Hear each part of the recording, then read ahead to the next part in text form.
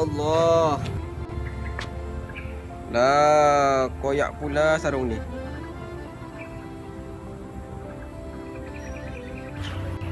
Ja.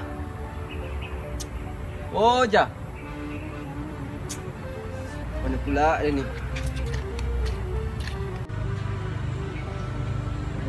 Apa ni?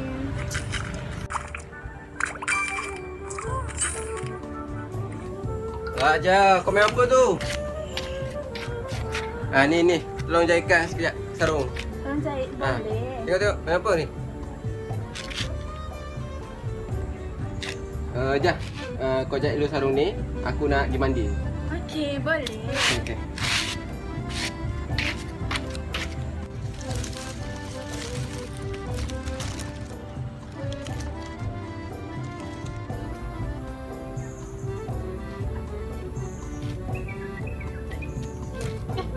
Buat apa tu? Tengah memasak ni. Aduh, tanya lagi. Mestilah tengah jahit baju abang kesayangan. Eh, nenek aku kata kalau jahit baju senja-senja nanti macam buta. Ya ke? Patutlah mata aku nampak sama-sama pun. Ja, dah siap ke? Belum lagi abang. Payah gila.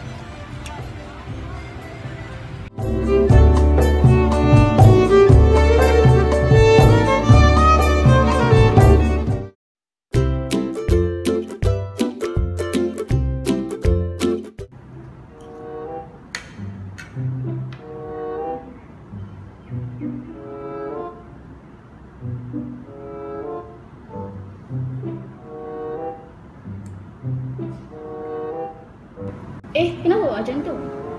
Eh, kau tak tahu ke? Orang dulu-dulu kata kalau nak murah rezeki buat macam ni lah, tuang air dalam pinggan. Oh, yang aku tahu kalau nak murah rezeki kena duha, kiah, sedekah.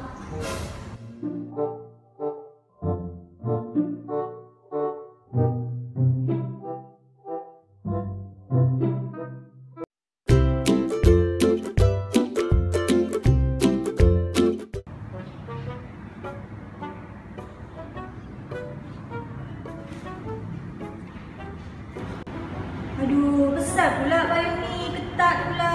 Yalah, hujan kat luar tu. Lambat ke kelas pula. Eh, eh, eh, eh, eh.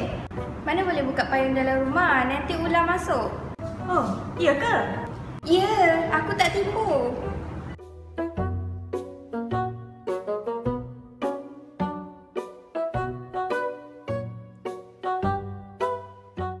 Ke kelas. Jom, jom, jom. Kali ni saya buka payung kat luar. Ah, okey, okey.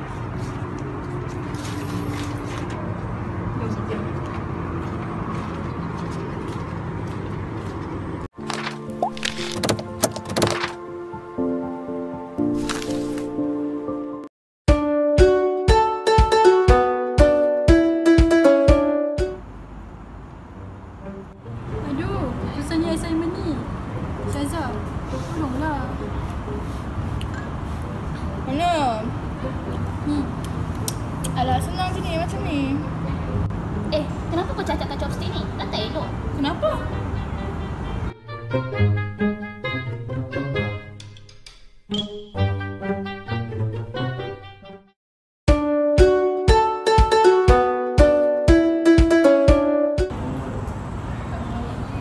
Hari Raya, Anis. Wah, awak ingat itu saya? Mestilah saya ingat. Awak kan kawan saya. Nah, ada-ada yang tahu awak. Buka lah. Eh, pisau? Awak tak nak kawan dengan saya ke? Eh,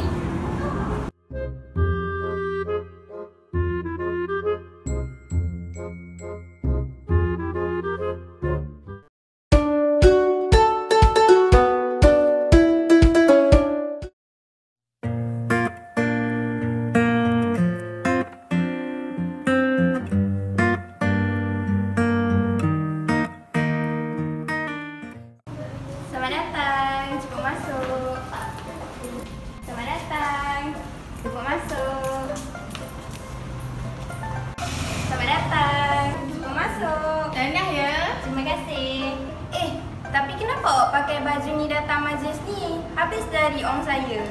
Kalau macam tu, saya balik dululah. Hmm, baliklah. Hmm, okey. Eh, eh, eh. Awak boleh balik tapi angpau ni saya yang punya.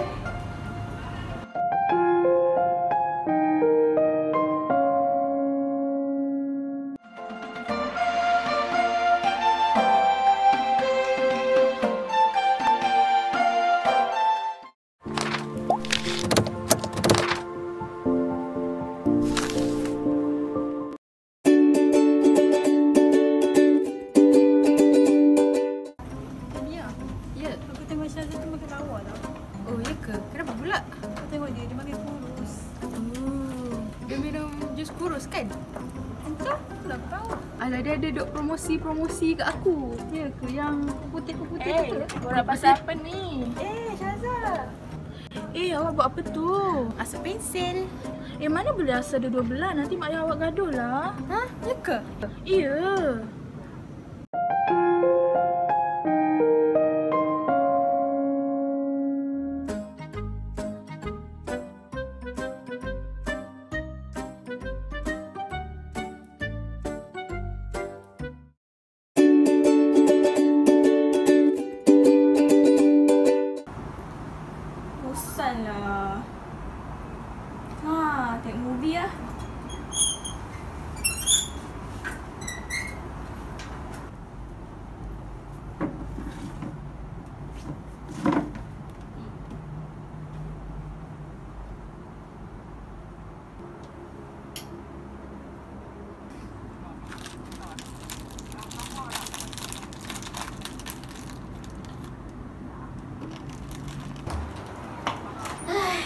Penatnya hari ni.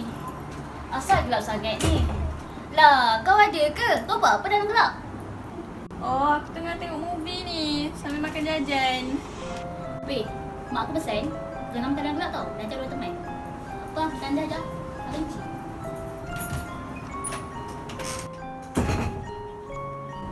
Hei, pengarut je dia ni. Nak jajan sikit boleh?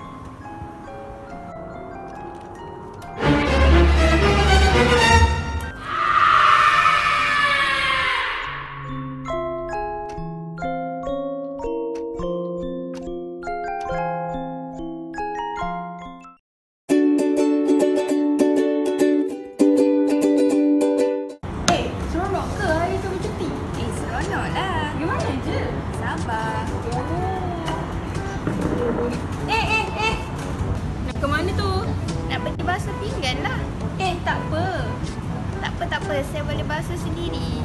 Eh, tak boleh. Malah lah nasi saya nanti.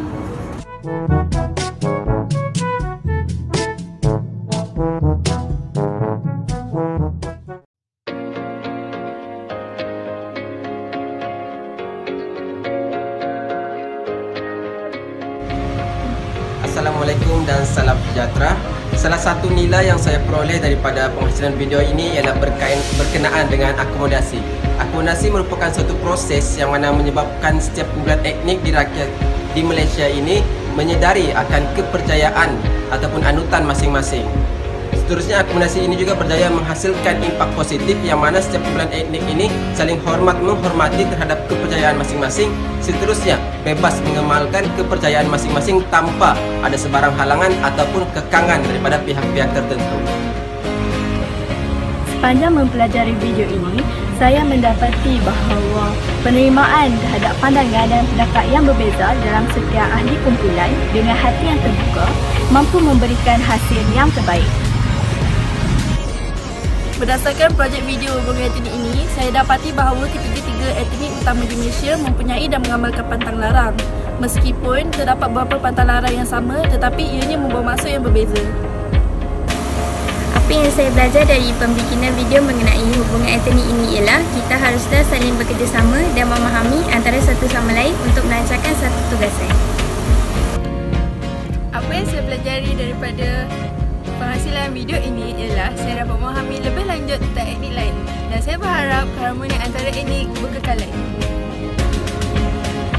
Pertamanya saya amat bersyukur kerana dapat melibatkan diri dalam projek video Minat ini Pada ini saya tidak langsung dapat mengukuhkan lagi pengetahuan saya tentang pantalaran kaum di Malaysia.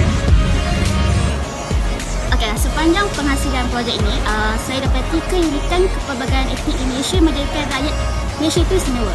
Justru itu, kita sebagai rakyat hendaklah menghargai dan memelihara kesepaduan yang harmoni ini.